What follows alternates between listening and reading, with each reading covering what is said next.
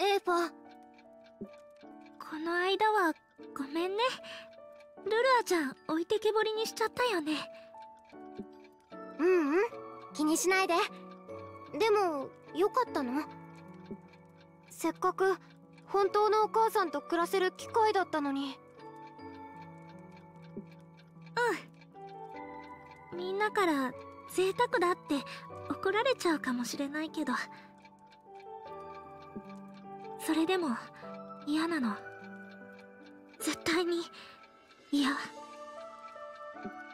実はね私昔から両親のこと知ってたんだ。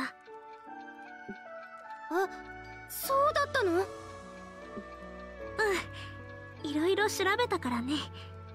執事のジョンさんが言ったことは間違ってない。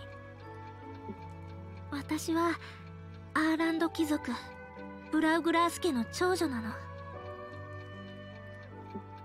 でも家督争いになることを恐れた父親の指示で育児院に預けられることになったみたい。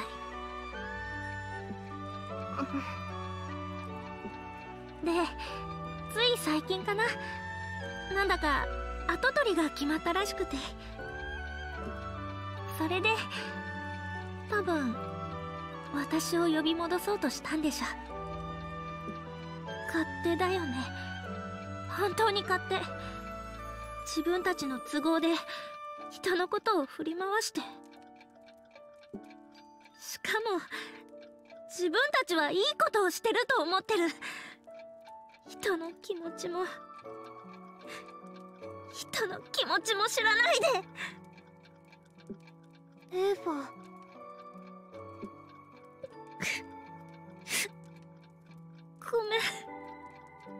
ごめんねルルアちゃん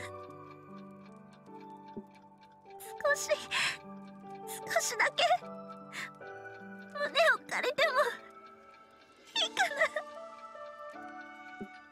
な？うん。もちろんだよ。私とエーファは本当の家族だから。さあ好きなだけ泣いていいからね。私はどこにも行かないから。